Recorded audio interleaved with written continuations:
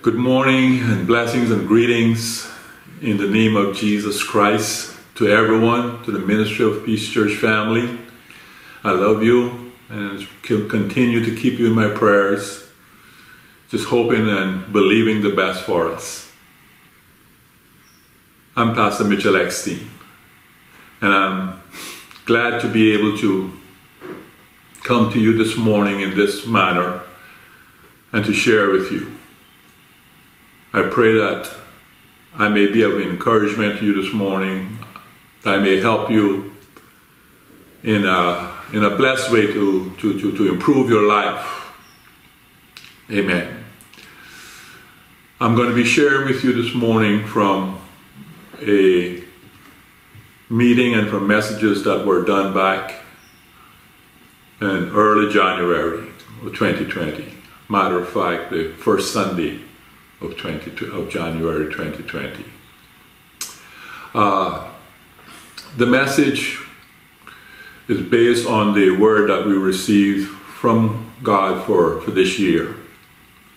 And each year we receive a word which becomes the theme of our, of our messages, of our teachings, of our prayers for that particular year. I received this word back in the latter part of 2019. And the word is this that 2020 is the year of true worshippers. God is calling the church, is calling people to true worship, back to his heart. True worship is not going through exercises or motions or rituals. To be a true worshiper it's a lifestyle. It's a lifestyle that is based on or caught up in or flows out from a personal, in-depth relationship with God through Jesus Christ. An intimate relationship. A close, knitted, love relationship. A relationship that is in type, like between a father and a child. Personal. This is God's heart. This is the reason we were created. This is the reason why salvation is available.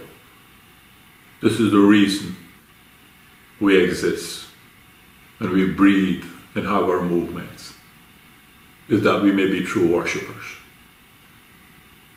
a personal, intimate relationship between a father and a child. Amen.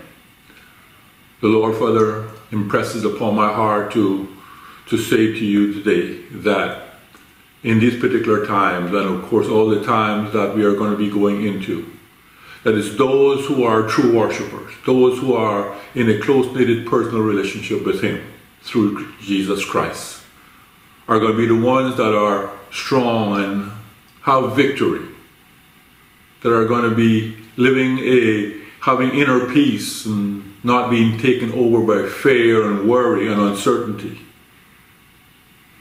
That they're going to be the ones who, who who's going to have life and the power of life because he is life.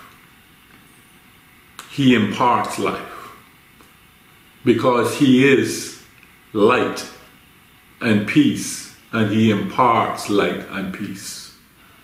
Because he is freedom and prosperity, and this is what he does and what he imparts. He can do nothing else and give nothing else but what he is, his very nature, his very essence. Even in the similar way, we find that a tree, a say a mango, a mango seed, a sweet mango seed, will produce a mango, a sweet mango. It will not produce an orange or some other fruit. It can only reproduce and give birth to that which it is. So I encourage you today, if you're a Christian, take inventory, reflect on yourself commit to having a closer, a more surrendered, intimate relationship with our Heavenly Father, God Almighty, through Jesus Christ and in Jesus Christ. If you're not a Christian today, I encourage you to to pause and to, to reflect and to investigate and to take time to consider to consider these things to consider Jesus Christ. I encourage you to to not have a biased predisposed position against God and against Jesus Christ against the scriptures. But open up your heart. Open up your ears and your eyes and see that the things that we are experiencing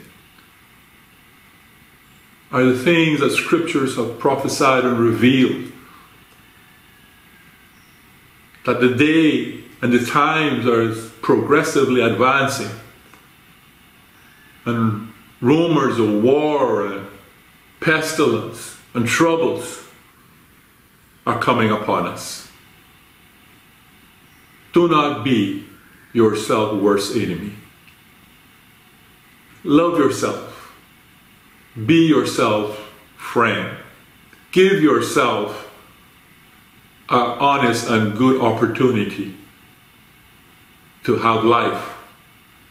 Life eternal. Life not just on this earth, but life to come, eternal life to come with our Lord Jesus Christ.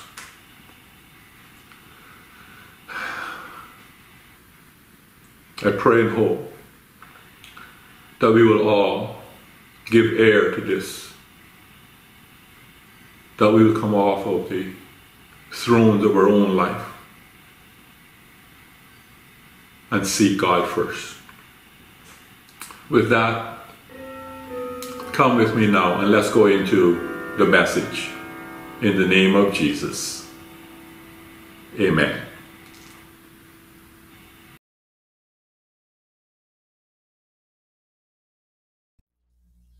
Welcome again, everyone, in the name of Jesus, to this wonderful day that we have here today. Amen. Praise the Lord. Praise the Lord. Amen. Now, as we have partook this morning of the communion,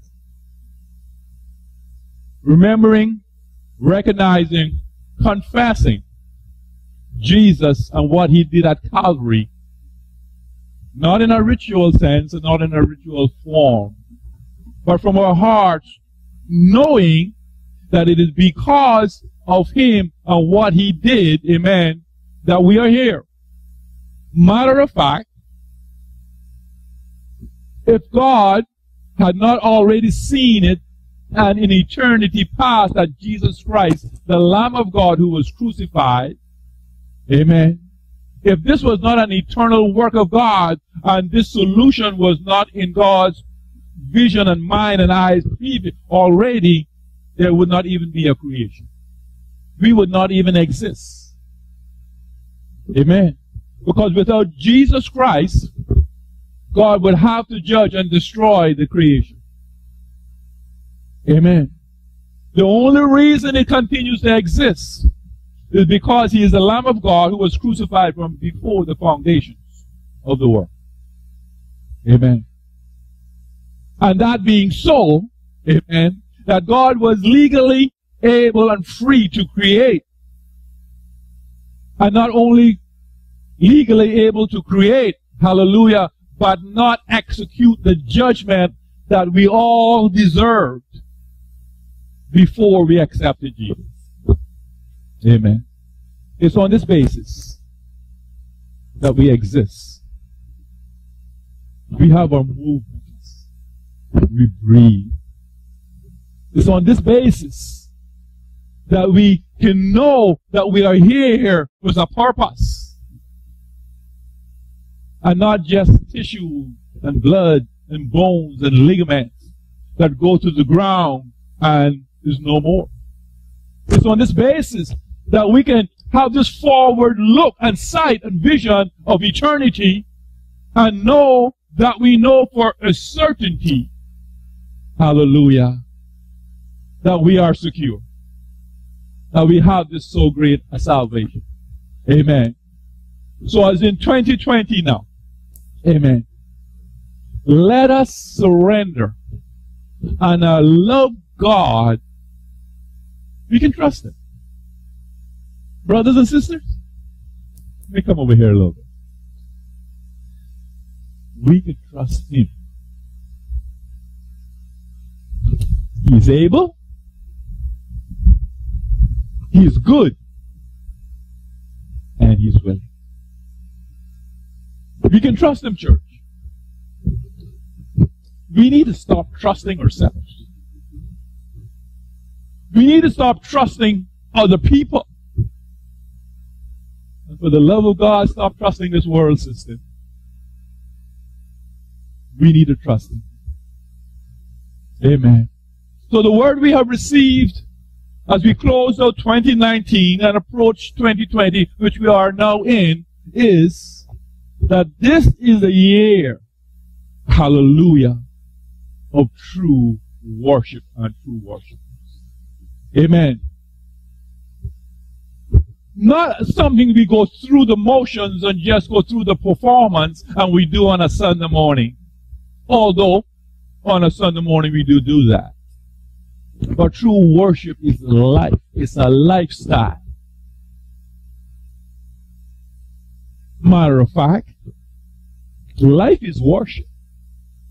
What I mean by that is you worshiping something. You worshiping someone.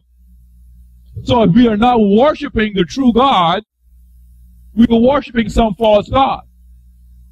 Why is this? Because life, hallelujah, we give and we are under the dominion of someone. We were not made to be independently and have rulership and, and dominion in of ourselves. Amen. Get this, get this truth in our hearts this morning. We were given free will, and we were given knowledge, and we were given revelation so that we could make a choice and choose who we're going to serve. Amen.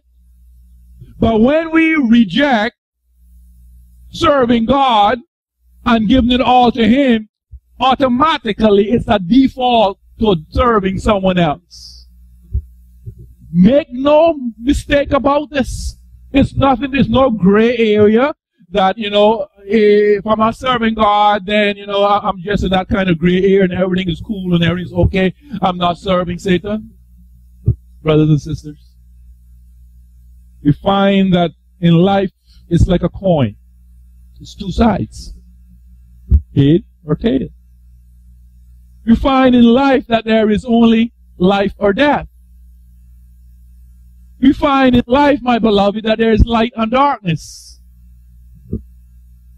We find in life that that that that it's the yesterday you experienced and the today. Two sides. We serve God, or we serving some other God that's not God at all. So when the Lord calls us and has declared and decreed that this is the year of true worshippers, we should be exceedingly glad and rejoicing.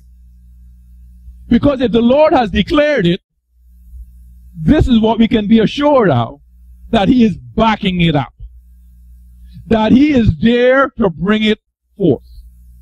He is there to give you what you need in order to be a true worshiper. You can rest assured of that thing. Amen?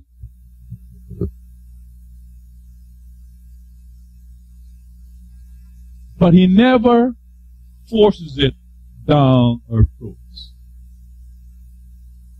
It's a low choice. It's a low choice this morning. Amen. So faith comes by hearing. And hearing from the Word of God. Colossians 1.12 giving thanks unto the Father, which has made us meet to be partakers, ready to be partakers of the inheritance of the saints in light. 13. Who hath delivered us from the power of darkness and hath translated us into the kingdom of his dear Son. 14. In whom we have redemption through his blood, even the forgiveness of sins. 15. Who is the image of the invisible God, the firstborn of every creature. 16. For by him were all things created that are in heaven and that are in the earth, visible and invisible, whether they be thrones or dominions or principalities or powers. All things were created by him and for him. 17. And he is before all things, and by him all things consist. 18. Hallelujah. And he is the head of the body, the church, who is the beginning, the firstborn from the dead, that in all things he might have the preeminence. And I want to try to finish at 19. For it pleased the Father that in him should all fullness dwell. This is a hard passage to stop reading. My God, my God, you are so awesome. Let's go back up to 12, brother. Amen. We are here this morning on this first Sunday of the first month, January of 2020. And we took time out to remember, amen, and to recognize and to make a statement, confession, amen, of our belief in Jesus Christ. And that everything that is and our salvation and every hope that we would hope for is because of who he is and what he has done. Amen. Hallelujah. We, we, we, we confess that. And as Christians, we say we believe that. We, we declare the glory of God and we declare that He is God and we declare He's Lord and He's King of Kings and He's soon coming again. Amen. And, and having taken that position, what is it left for us to do now apart from to say these things, but to let these things be real in our life? The corresponding action, uh, not just words, but a corresponding action. Just not words that are empty and without substance, but words that are meaningful and real and translate into real time on the ground. Worship. We were created for His worship. We were created to manifest and show forth His glory giving thanks unto the Father, which has made us meet to be partakers of the inheritance of the saints. We are partakers of the inheritance. We are joint heirs with Christ in God this morning. Amen. We have a, eternal inheritance. One that won't tarnish, rot, or fade away. And, and this this has been made good and ready for us because of Jesus Christ.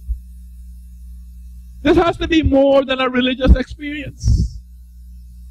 This has to be more than just religious thoughts and words.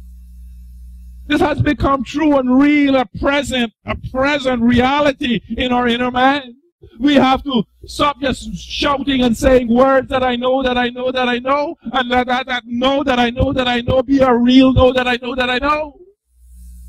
It has to be a real living experience. If God is God, if God is real, then it must be a real living experience. There cannot be a contradiction. 13. 13, brother. Who has delivered us from the power of darkness. Wow. He has delivered us from the power of darkness. He has done this delivery through the man, the person, Christ Jesus, and his payment, his sacrifice, his substitution at Calvary. He has brought this awesome event that took place some 2,000 years ago into our present reality, into our knowledge through the gospel of Jesus Christ. We know it because the word has preached it and proclaimed it. Amen. And what it has done, it has delivered us from the power of darkness. You see, when we, when we read these scriptures, and we hear these sayings and these words expressing these thoughts, sometimes we just need to stop right there and meditate and let God give you revelation knowledge of to the depth of that, what the meaning and what he has delivered us from, from the power of darkness. And when, when, when, when, when, when we think of that, uh, that we were under a power, and since we were under the power, we had no ability to deliver ourselves. We had no strength to overcome this power because it was greater than us. We were under it. It was our rulership and it was darkness. When we read this now, as we put it in the context, we have to draw a dividing line that on the contrast or on the opposite of darkness, there is light.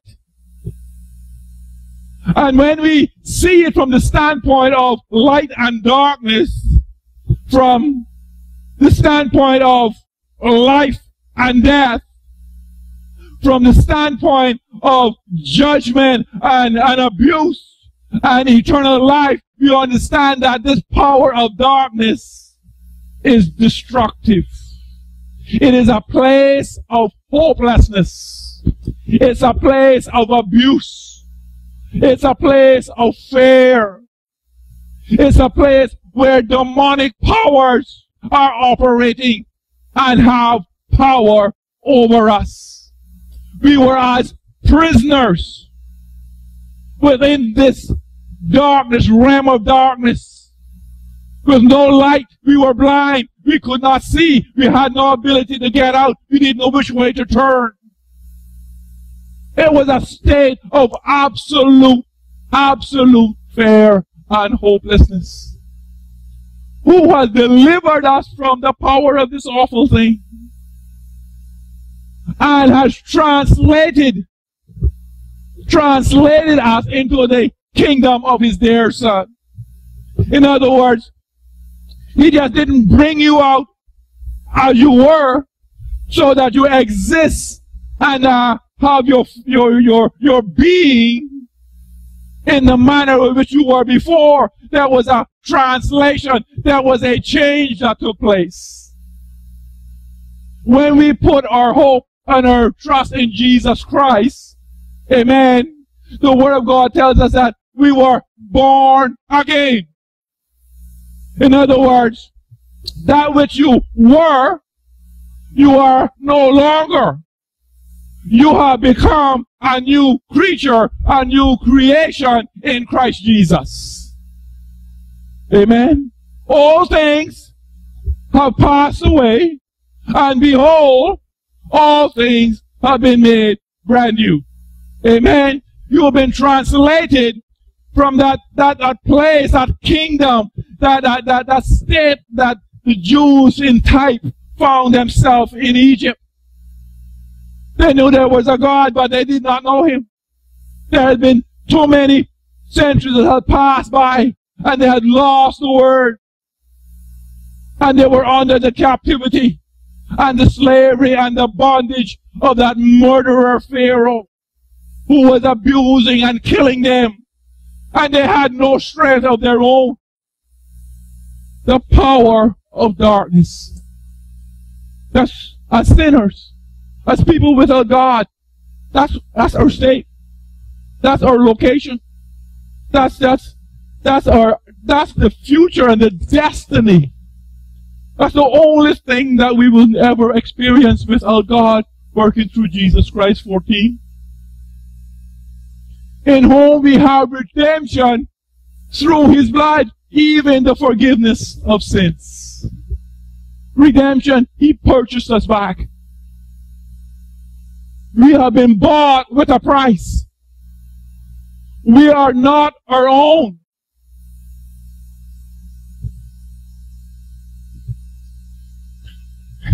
In a sense and in a way, if I buy something and I purchase it,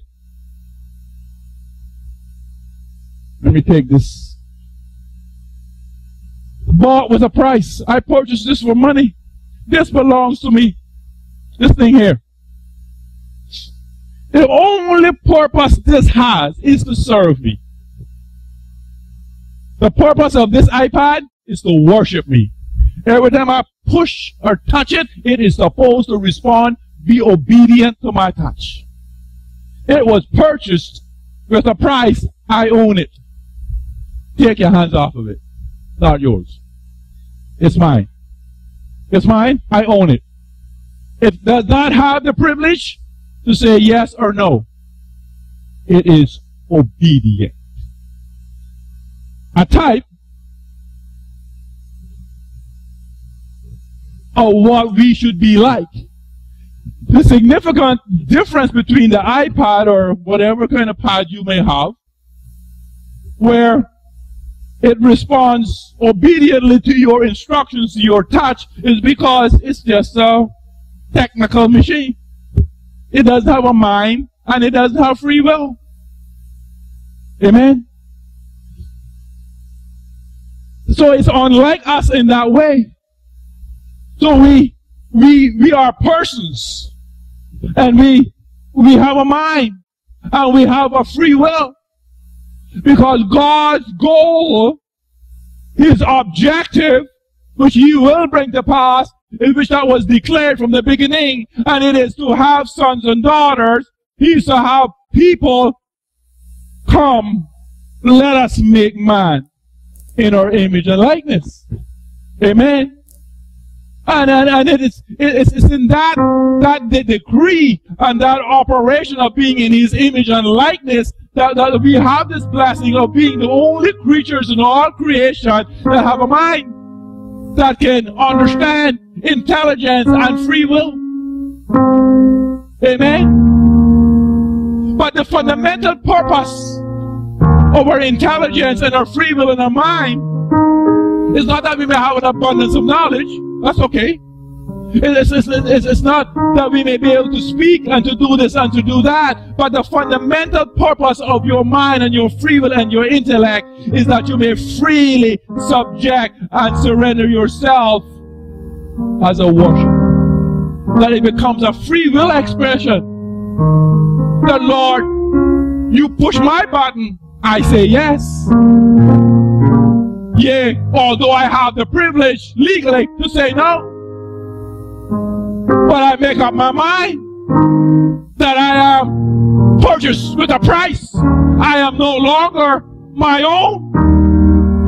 I am only here and exist because of Him. I will only have a, a future, a eternity with Him because of Him. So Lord, I know you bought me with a price. I know you created me to be with you. Lord, I know you gave me free will. Lord, I know you made a promise to me of an eternal life with you, Lord. And I freely, Lord, I freely give my life to you. Because I know, Lord, you are good and you are faithful. And there's no darkness and no shadow in you. Brother, we can trust him. You are not an iPad. You are a person, a human being, with intelligence, with free will to understand these things. And you cannot use your free will to say, Lord, I am yours. I am like the iPad. You purchase me. You touch me, and I respond. You turn me on, and I'm on. In whom we have redemption through the blood, even the forgiveness of sins. That thing, that horrible thing that was separating us from God and condemned us to that place of darkness. Jesus Christ, through the cross, through his blood, through his crucifixion, through his death and his resurrection, has redeemed us. 2020. You have been redeemed from 2019. You have been redeemed from all your sins and all your mistakes of last year. You have been redeemed from those things that are behind you. You have been brought out and into this place, this spiritual time and realm called 2020. You made that crossover.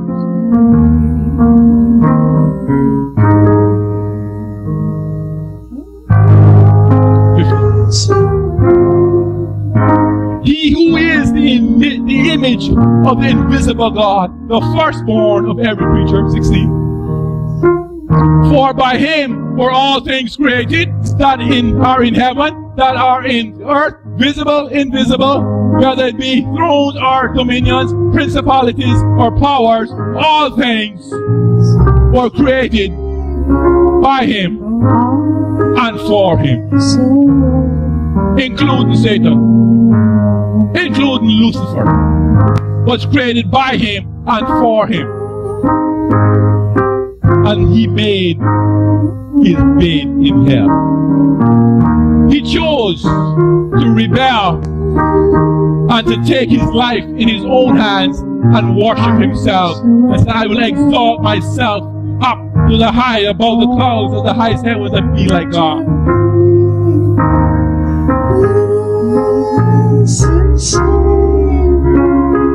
It is the same choice that we face today. It's not all of these other things. They, they, have their place and they play their part, but it's really about am I going to trust God through Jesus Christ to make me in his image and likeness?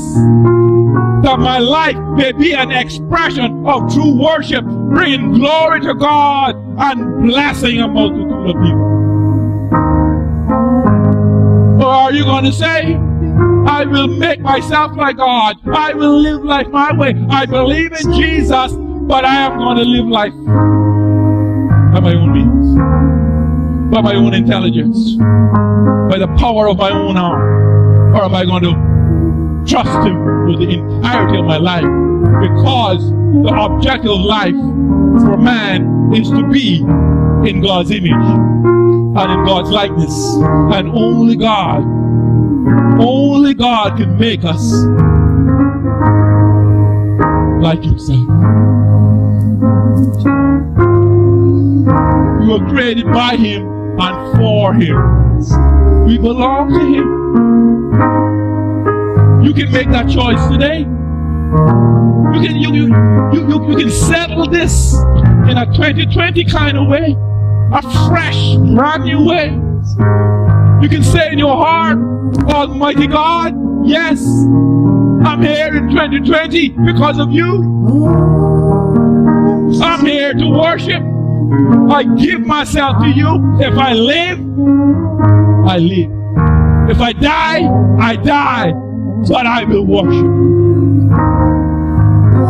Commitment. So long. 17. I'll try to get you out of here. And he is before all things. And by him, all things consist. 18. And he is the head of the body, the church. He is the head. He is the overlord. He is the king, the Lord over the church. He is the governor. He is the boss. Who is the beginning? The firstborn from the dead, that in all days he might have preeminence. Worship. Worship. True worship in 2020. And what happened magical? What happened even automatically? And you don't go from a zero to a hundred. It's a process. But the process begins in a soul and heart. The process begins right where you are. Giving your life to God right where you are. And if you're all Christians, I'm not talking about our salvation. I'm talking about worship and service, sanctification. Begins right where you are. Stand up.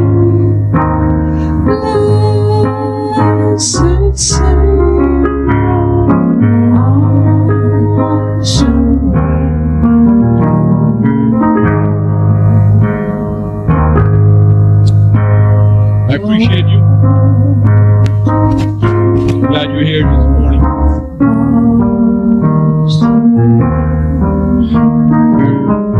Really am excited that God has brought us in 2020 together.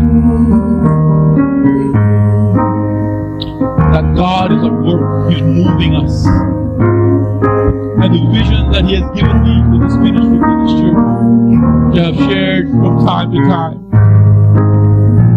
which God revealed the work He would do in us, the work that He would do through this ministry, what would take place here in the Kewanah. And He's bringing us day by day, month by month, year by year to that place. Preparing us and making us ready so that he can accomplish that which he has placed us on this earth and in the Cayman Islands to do. He makes us true worshipers. Person people he can use, he can trust, that he can give responsibility and give things done, and will be faithful with it. Over here is where you are. Over here is right here. This is a moment between you and God. This is a moment between you and God. About His His great plan for our lives. Whether you're going to go forward or not, whether you're going to trust Him. This is a moment in time. Right here, right now. We're going to stop playing around. We're get sick and tired of being sick and tired. Father God, today, thank you for being here with us, your presence here, your Holy Spirit. Thank you for overseeing Lord, this assembly and overseeing what has been said and done here today. In these closing moments, Lord, of this gathering, we still want to be just subjected and faithful to you. Whatever, Lord, you want to do right now, in this minute, this moment in time, Father God, by thy Spirit, we say yes.